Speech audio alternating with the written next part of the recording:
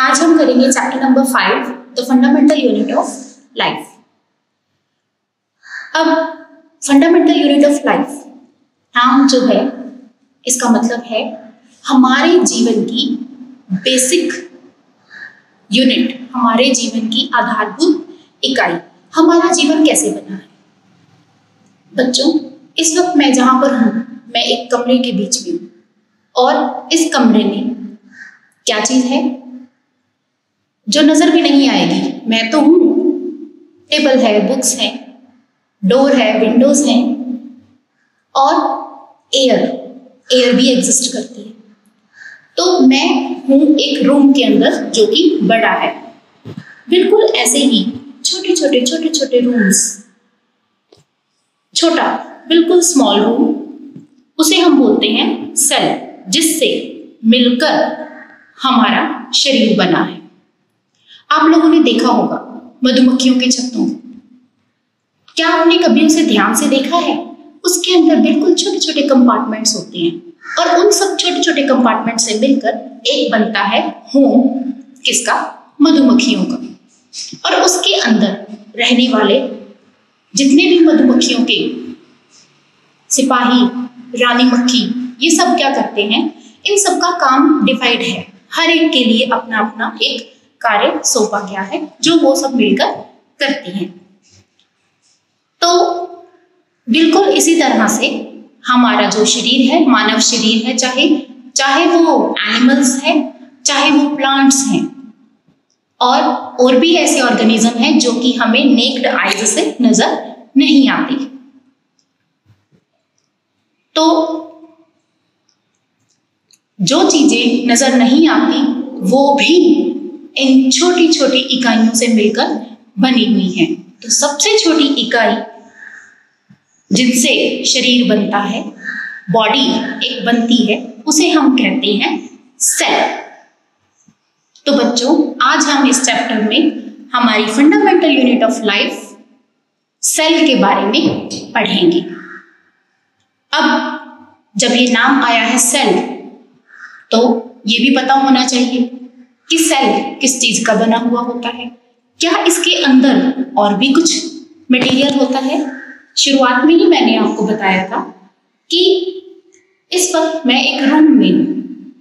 और सेल भी क्या है? एक लिटल रूम जो कि अंदर बहुत कुछ चीज़ों को समाये हुआ है।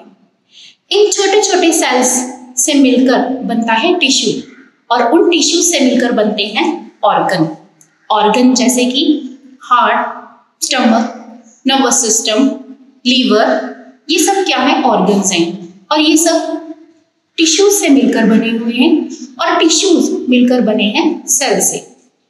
एक कमरा भी कैसे बना है? कमरा बनाने के लिए सबसे पहले ईंट, मिट्टी, बजरी, सीमेंट, पानी, इन सब की ज़रूरत पड़ी। टाइम टू टाइम इन्हें पानी भी दिया जाता है। आपने देखा ही होगा, हम तो आसपास बहुत से उदाहरण देखते हैं। जब हमारे आसपास घर बनता है, आप लोगों ने भी देखा होगा। तो बिल्कुल इसी तरह से बेसिक यूनिट है सेल अब हम इससे आगे पढ़ेंगे मैं आपको बताऊँगी सेल किसने डिस्कवर किया था, किस तरह से ये डिस्कवर हुआ, और इसके अंदर क्या पाया जाता है, और उनके क्या क्या फ़ंक्शन है। तो बच्चों, एक बार फिर से। कक्षा नौवीं चैप्टर नंबर फाइव अध्याय पाँच the fundamental unit of life जीवन की आधारभूत इकाई। ये है डिस्कवरीज हम बात कर रहे थे सेल की। सेल्स को डिस्कवर किया था रॉबर्ट हुक ने 1665 में। इन्होंने क्या किया कि पेड़, जो पेड़ होते हैं, बिल्कुल बाहर, जहाँ उसका तना है उसको उन्होंने छीला। वहाँ से बार्क ऑफ़ ट्री पेड़ की छाल को छीला।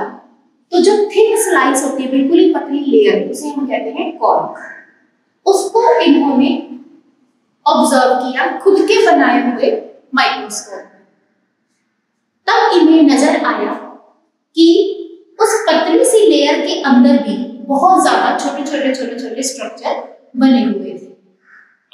तो इसका श्रेय सेल की डिस्कवरी का श्रेय जाता है रॉबर्ट हुक को। इन्होंने डिस्कवर किया था cell from the bark of a tree cork slice से नेक्स्ट है हमारा free living cells pond water freshly pond water जो हमारे यहाँ आसपास आपने देखा होगा जैसा कि हमारा रूरल एरिया है। जगह जगह पानी के तालाब बने हुए हैं। तो उनमें फ्रेश पॉन्ड वाटर में कई सारे सेल एग्जिस्ट करते हैं। इसकी डिस्कवरी की गई लिवन फॉक के द्वारा 1674 में। नेक्स्ट जो सेल है सेल के अंदर उसका केंद्र होता है, जिसे हम कहते हैं न्यूक्लियस न्यूक्लियस की डिस्कवरी की गई थी रॉबर्ट ब्राउन द्वारा 1831 में अब अभी हमने बात की कि सेल सबसे छोटी बॉडी है। उसके अंदर मिला न्यूक्लियस और सेल के अंदर मिलता है प्रोटोप्लाज्म प्रोटोप्लाज्म क्या है? ये एक फ्लूइड है। फ्लूइड क्या होता है? एयर और वाटरी सब्सटेंस दोनों को ही हम फ्लूइड कहते हैं, जो फ्लो हो जाते हैं, जो बह जाते हैं। तो सेल के अंदर फ्लूइड सब्सटेंस एग्जिस्ट करता है, जिसे हम बोलते हैं प्रोटोप्लाज्म इसकी डिस्कवरी की थी कंटेंजे ने 1839 में। नेक्स्ट सेल थ्योरी ये सभी सेल से ही रिलेटेड है। सेल थ्योरी में क्या कहा गया है कि जितने भी प्लांट्स हैं, जितने भी एनिमल्स हैं, वो सब किससे मिलकर बने हैं? सेल से। तो सेल क्या है? बेसिक यूनिट ऑफ़ लाइफ इसकी खोज की थी स्क्लेडर 1839 एंड स्क्वैम आल्सो 1839 इसी सेल थ्योरी को आगे एक्सप्लेन किया गया वर्षों के द्वारा 1855 में, जिन्होंने ये कहा कि माना कि सभी प्लांट्स और एनिमल्स सेल के बने हुए होते हैं और ये सेल आते कहाँ से हैं? जो पहले से उनमें एग्जिस्ट कर रहे हैं, वही सेल बढ़ते रहते हैं। All cells arise from pre-existing cell मतलब पेरेंट्स रीजनरेशन से, फिर से प्लांट बने प्लांट पेरेंट और एनिमल पेरेंट से एनिमल ही एग्जिस्ट करेंगे। तो सेम टाइप ऑफ़ सेल से सेम टाइप ऑफ़ ऑर्गेनिजम्स जो है वो ऑर्गेनाइज करते हैं। ये थ्योरी दी थी वर्चू ने नेक्स्ट जो डिस्कवरी हुई, वो हुई इलेक्ट्रॉन माइक्रोस्कोप की। इसके ज़रिए हमें ये पता चला कि सेल जिसके अंदर न्यूक्लियस है, जिसके अंदर प्रोटोप्लाज्म है, उसी सेल के अंदर और भी काफ़ी छोटे छोटे पार्ट्स बने हुए हैं छोटे छोटे कंपाउंड्स जो कि उसके अंदर तैरते हैं, जिन्हें हम बोलते हैं ऑर्गेनल्स ये डिस्कवर हो पाया 1931 में बने हुए इलेक्ट्रॉन माइक्रोस्कोप की हेल्प से। जिसकी डिस्कवरी की थी Ernst Ruska and Max Knoll ने। उनकी इस डिस्कवरी के कारण ही हमें ये पता चला कि सेल के अंदर और भी काफ़ी सारे कंपाउंड्स एग्जिस्ट करते हैं, जिन्हें हम बोलते हैं सेल ऑर्गेनल्स तो स्टूडेंट्स अगर आपको ये समझ में आया है तो आपको मैं एक और थोड़ा इजी सा मेथड बताती हूँ जिससे आपको क्लियर हो। मान लीजिए ये एक सेल है। और ये है इसका न्यूक्लियस यहाँ पर फ्लूड है, जो कि इसे लाइफ देता है। और इस फ्लूड के बीच में छोटे छोटे सेल ऑर्गेनल्स एग्जिस्ट करते हैं छोटे छोटे और इन ऑर्गेनल्स के अपने अलग अलग फ़ंक्शन हैं। ये है हमारा सेल ये है हमारा न्यूक्लियस और ये जो लिक्विड जो फ्लूड प्रेजेंट है, उसे हम कहते हैं protoplasm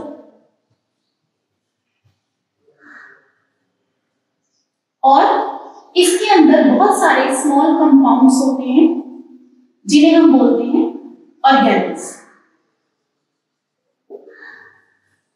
so students I think आपको सेल्स के बारे में थोड़ी बहुत जानकारी हुई होगी। नेक्स्ट वीडियो में मैं आपको इस चैप्टर की बुक के through word to word line to line detail में आपको समझाऊँगी। थैंक यू बेटा। सो नाइन्थ क्लास स्टूडेंट्स अब आप अपनी साइंस की बुक निकालो। Chapter number five the fundamental unit of life अभी मैंने आपको डिस्कवरीज के बारे में बताया। अब मैं आपको लाइन टू लाइन हर एक चीज़ को एक्सप्लेन करूँगी। आपको लगेगा कि आप क्लास में ही बैठे हुए हैं। So let's start Robert Hooke जब उन्होंने कॉर्क को माइक्रोस्कोप में देखा, तब उन्हें क्या दिखा? उन्होंने देखा कि जो कॉर्क है उसका स्ट्रक्चर बिल्कुल मधुमक्खियों के छत्ते के जैसे नज़र आ रहा था। जिस तरह मधुमक्खियों के छत्तों में छोटे छोटे कमरे बने हुए होते हैं, बिल्कुल ऐसे ही कॉर्क, जो कि पेड़ की छाल से एक पतली सी उन्होंने स्लाइस निकाली थी, उसमें भी उन्हें छोटे छोटे रूम्स बने हुए नज़र आ रहे थे। कॉर्क क्या है? कॉर्क एक ऐसी चीज़ है जो कि पेड़ की छाल से निकलती है, बाहरी छाल जिसे हम कहते हैं। ऐसा कब हुआ? सोलह में हुक को मौका मिला जब उन्होंने अपने ही, अपना सेल्फ डिज़ाइन माइक्रोस्कोप बनाया। तो उसके, उसमें देखने का उन्हें मौका मिला। तो उन्होंने सबसे पहले पेड़ की छाल को छीला और उसमें देखा। रॉबर्ट हुक ने इन बॉक्सेस को नाम दिया सेल्फ क्यों दिया नाम सेल्स सेल एक लेटिन वर्ड है। लेटिन भाषा का शब्द है। जिसका मतलब होता है एक छोटा सा कक्ष छोटा सा कमरा। ये बहुत ही छोटा था वेरी स्मॉल और इनसिग्निफिकेंट इंसिडेंट दिखने में ये बहुत ही स्मॉल था और इंसिडेंट जब लाइट इस पर पड़ती थी, तभी ये नज़र आता था। ऑब्वियस है माइक्रोस्कोप से देखने पर ही नज़र आएगा, वैसे इसमें नज़र नहीं आएगा। पर साइंस की हिस्ट्री में, विज्ञान के इतिहास में बहुत बड़ी खोज थी। ऐसा पहली बार हुआ कि किसी ने लिविंग थिंग को ऑब्ज़र्व किया जो कि अलग अलग यूनिट्स में नज़र आ रही थी। तो सेल शब्द का प्रयोग बायोलॉजी में ही किया जाने लगा। अब हम सेल के बारे में आगे जानेंगे। What are living organism made up of जीवित जो प्राणी है, वो किस चीज़ के बने हुए हैं? ये हम एक एक्टिविटी के ज़रिए देखेंगे। अभी मैं आपको इस एक्टिविटी के बारे में बता रही हूँ और ऐसा आपको करके दिखाने के लिए मैं आपको नेक्स्ट वीडियो भेजूँगी। तो अभी आप इसे समझिए। सबसे पहले हमने क्या किया? एक प्याज लिया और उसे काटा। काटने के बाद आपने देखा होगा कि प्याज की हार्ड लेयर के बाद उसमें एक बहुत ही पतली सी ट्रांसपेरेंट झिल्ली नज़र आती है, उसे हम बोलते हैं अनियन पील ये जो लेयर है, इसे हम एक छोटे से कांच के टुकड़े पर रखते हैं, जिसे हम बोलते हैं वॉच ग्लास और इस लेयर में हल्का पानी प्रेजेंट होता है. ग्लास स्लाइडली ये सारे उपकरण हमें साइंस लैब में मिलेंगे, अभी हम घर पर हैं तो जो पॉसिबल हो पा रहा है, वैसे ही मैं आपको बता रही हूँ. उस पतली सी मेम्ब्रेन को लेकर प्याज को हमने काटा। काटने के बाद उसमें से एक ट्रांसपेरेंट मेम्ब्रेन निकलती है। छिलका उसका निकलता है। छिलका उतारने के बाद, एक लेयर कट करने के बाद प्याज की। और वॉच ग्लास में रखकर हमने उसकी स्लाइड बनाई। स्लाइड बनाने के लिए हमने क्या किया? उस लेयर को पेंट ब्रश की मदद से ट्रांसफ़र कर दिया। स्लाइड के ऊपर और उसके अंदर सैफरिन सोल्यूशन की कुछ बूंदे डाल दी। ऐसा इसलिए डालना पड़ा क्योंकि जो लेयर है वो बहुत ही ट्रांसपेरेंट है। अगर हमें उसके अंदर कुछ नज़र आएगा तो जब तक उसके ऊपर कलर नहीं करेंगे, हम कलर नहीं डालेंगे, तब तक हमें वो चीज़ें नज़र नहीं आएँगी, चाहे हम माइक्रोस्कोप में देखें। फिर हमने उसे कवर कर दिया कवर स्लिप के साथ। ध्यान रखना है कि बीच में एयर बबल्स ना बने। कवर स्लिप क्या होती है? एक कांच की लेयर के हमने ऊपर सामान रखा, वो भी ट्रांसपेरेंट है। यहाँ पर हमने अनियन पील रखा, उसे फिर से हमने कवर कर दिया। दूसरी ट्रांसपेरेंट ग्लास के साथ कांच की एक लेयर होती है, उसी के साथ ही हमने कवर कर दिया। और फिर हमने उसे इस पॉइंट पर रखा। ये लेंसेज हैं, इनको एडजस्ट करना पड़ता है। ये एक कंपाउंड माइक्रोस्कोप है, यहाँ पर मिरर है, जो कि लाइट के अकॉर्डिंग एडजस्ट करना पड़ता है। इसे हम एडजस्ट करते हैं, तभी हमें यहाँ पर यहाँ पर नज़र आता है। यहाँ पर हमें वन आई को आई से इसे देखना होता है। मैंने आपको एक वीडियो भेजी है, जिसमें दिखाया गया है कि किस तरह से माइक्रोस्कोप को यूज़ किया जाता है। लो पावर में देखना है। वट डू वी ऑब्ज़र्व जब आप इस प्याज के छिलके की पतली लेयर को यहाँ पर रखेंगे स्लाइड बनाने के बाद तो आपको उसमें इस तरह से स्ट्रक्चर नज़र आएगा। आप देख रहे हैं ये स्ट्रक्चर आपको नज़र आएगा। तो ये किस चीज़ का स्ट्रक्चर है? ये है अनियन पील का। और इसके अंदर ये देखो आप, ये बने हुए छोटे छोटे कमरे। ये नज़र आ रहे हैं आपको। ये सेल्स हैं और ये जो डॉट नज़र आ रही हैं आपको, ये है न्यूक्लियस तो एक प्याज के छिलके की पतली सी लेयर के अंदर, आप देखिए कितने सारे सेल्स हैं। One two three four five six seven eight nine ten eleven twelve thirteen fourteen fifteen sixteen seventeen eighteen nineteen twenty twenty one twenty two तो इतने सारे सेल से मिलकर वो एक पतली सी ट्रांसपेरेंट सी लेयर बनी है तो उस प्याज के अंदर कितने सारे सेल होंगे? और हर सेल के अंदर एक न्यूक्लियस है। और इसी सेल के बारे में हमने आज पढ़ना है। नेक्स्ट पेज क्या हम और भी कई प्याज लेकर उनके साथ भी ऐसा कर सकते हैं। हाँ बिल्कुल कर सकते हैं। आप जैसा मर्ज़ी प्याज ले लो, चाहे आप सूखा प्याज ले लो, लाल प्याज ले लो, या कहीं बाहर से आया हुआ प्याज ले लो अलग अलग वैरायटी आपने प्याजों की देखी होगी। आप उन सबके साथ ऐसा करके देखिए।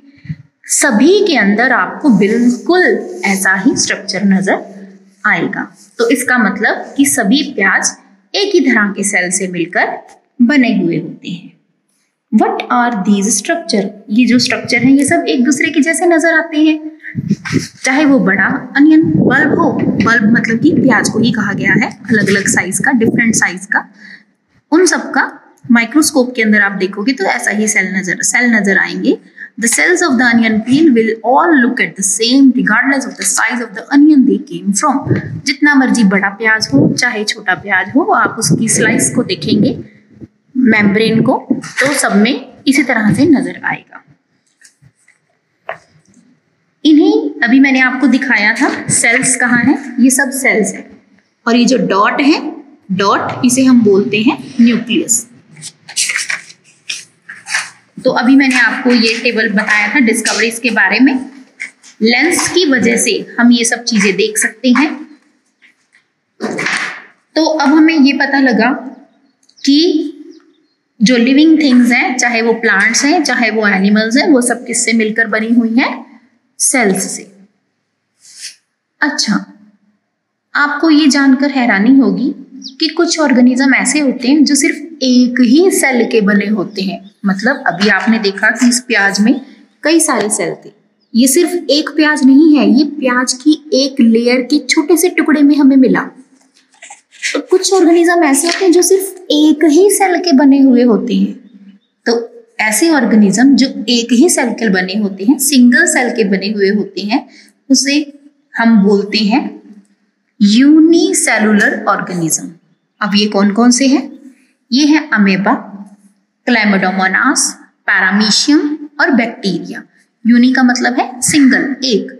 दूसरी तरफ़ कई सारे सेल इकट्ठे होकर एक बॉडी बनाते हैं। और उनका फ़ंक्शन जो है वो अलग अलग बॉडी पार्ट करते हैं।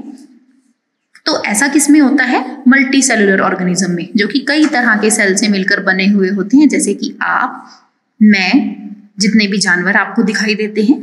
प्लांट्स ये सब मल्टी सेलुलर ऑर्गेनिजम्स हैं। मल्टी मतलब मैनी अब प्लांट्स हैं एनिमल्स हैं और साथ में है फंगी क्या हम ऐसे और भी यूनिसेलुलर ऑर्गेनिज्म के नाम बता सकते हैं? बिल्कुल। आगे वाली वीडियोस में आपको बताया जाएगा। Every multi cellular organism has come from a single cell जितने भी मल्टी सेलुलर ऑर्गेनिज्म हैं, वो क्या वो सब एक ही तरह के सेल के बने हुए हैं? जी हाँ सभी एनिमल्स अलग अलग कैटेगरी के वो एक ही तरह के सेल से मिलकर बने हुए हैं। Cell divide to produce cells of their own kind और ये सेल लगातार, निरंतर बढ़ते रहते हैं, घटते रहते हैं, अपने आप को रिपेयर करते रहते हैं। तो जितने भी सेल्स हैं, वो सब कहाँ से एग्जिस्ट हुए हैं? अपने पिछले एग्जिस्ट करने वाले सेल्स से। तो जीवन निरंतर बढ़ता रहता है, पुराने जीवों से ही नए जीव उत्पन्न होते रहते हैं और वही सेल्स आगे बढ़ते रहते हैं। कुछ ऑर्गेनिजम्स के some organisms can also have cells of different kind अभी हमने बात की थी कि एक ही तरह के सेल के मिल, मिलकर बनते हैं, वो है अमीबा एक ही सेल से अमीबा क्लेमोडोमोनास पैरामीशियम और बैक्टीरिया और कुछ ऑर्गेनिजम्स होते हैं, जैसे कि फंगी प्लांट्स एंड एनिमल्स ये अलग अलग तरह के सेल से मिलकर बने होते हैं। अब हम बात करेंगे ह्यूमन की। ह्यूमन में और एनिमल्स में क्या मिलते हैं? ये जो सेल है ब्लड सेल्स ये ब्लड के अंदर मिलते हैं, खून के अंदर। ये है मसल सेल जो हमारी मसल्स हैं, ये उनमें मिलते हैं। देखिए आप देख रहे हैं इन दोनों को। ये है ओवम ये फीमेल बॉडी का सेल है। Sperm male body cell bone cell हड्डियों में मिलने वाला सेल नर्व सेल हमारे नर्वस सिस्टम का सेल फैट सेल हमारी बॉडी की जो लाइनिंग्स हैं, उनमें ये प्रेजेंट होता है फैट सेल आप देख रहे हैं सबका स्ट्रक्चर अलग है। बिल्कुल। Various cells from the human body. The shape and size of the cells are related to specific function they perform. अब ये जो सेल हैं, इनका अलग अलग आकार है अलग अलग इनका फ़ंक्शन है तो इनका आकार अलग इसीलिए है क्योंकि इनके फ़ंक्शन भी अलग हैं कुछ केसेस में जो इनकी शेप है वो फिक्स रहती है और कुछ में इन्हें फिक्स नहीं रहना पड़ता। जैसे कि अमीबा की अगर हम बात करें तो उसमें सेल जो है, वो अपनी शेप चेंज करते रहते हैं। पर अगर हम बात करें नर्व सेल की तो इसकी शेप यही रहती है, ये चेंज नहीं होती। Each living cell has the capacity to perform basic function हर एक लिविंग सेल की एक अपनी क्षमता होती है कि वो कौन सा फ़ंक्शन परफॉर्म करेगा, उसे कौन सा कार्य दिया जाएगा। जिस तरह से आपने देखा है, किसी भी संस्थान को आप ले लीजिए, सब में क्या होता है? अगर स्कूल को ही हम लें, विद्यार्थी, टीचर्स पियंस प्रिंसिपल्स, एडमिनिस्ट्रेशन तो ये सब का काम अपना अपना बटा हुआ है। बिल्कुल इसी तरह से मानव शरीर में भी जितने भी ऑर्गन्स हैं, सबका काम बटा हुआ है। और इन सब ऑर्गन्स के बीच में जितने भी टिश्यूज हैं और उन टिश्यूज के बीच में जितने भी सेल्स हैं, उन सब का काम बटा हुआ है। तो इसी तरह से जिस तरह हमारे ह्यूमन बॉडी में हार्ट हृदय का क्या काम है? ब्लड को पंप करके लंग्स तक पहुंचाना। स्टमक पेट का क्या काम है? खाने को पचाना और आगे भेजना।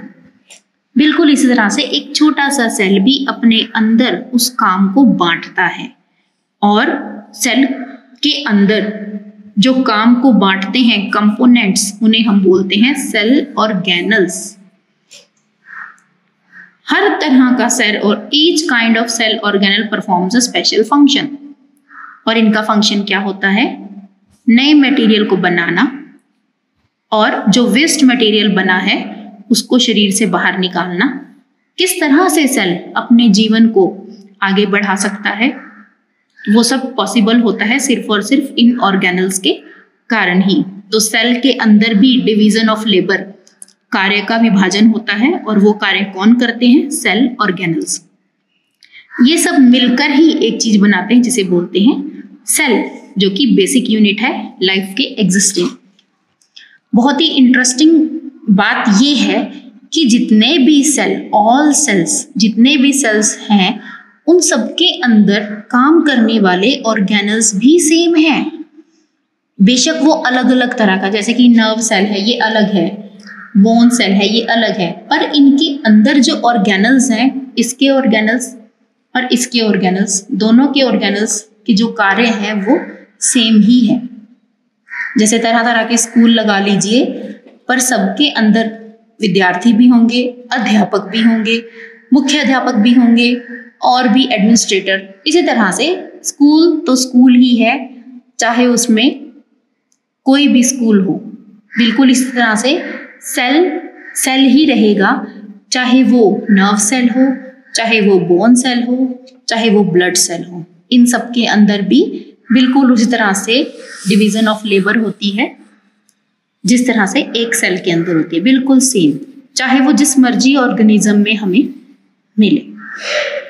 तो बच्चों, आज का हमारा टॉपिक यहीं पर कंप्लीट है कि लिविंग ऑर्गेनिजम्स किस चीज़ के बने हुए होते हैं? इनका स्ट्रक्चर कैसा होता है? और अलग अलग तरह के ह्यूमन बॉडी अब आपने इसे एक बार फिर से रीड करना है और अगर आपको कुछ पूछना है तो आप कमेंट बॉक्स में कुछ कुछ भी पूछ सकते हैं। थैंक यू बेटा।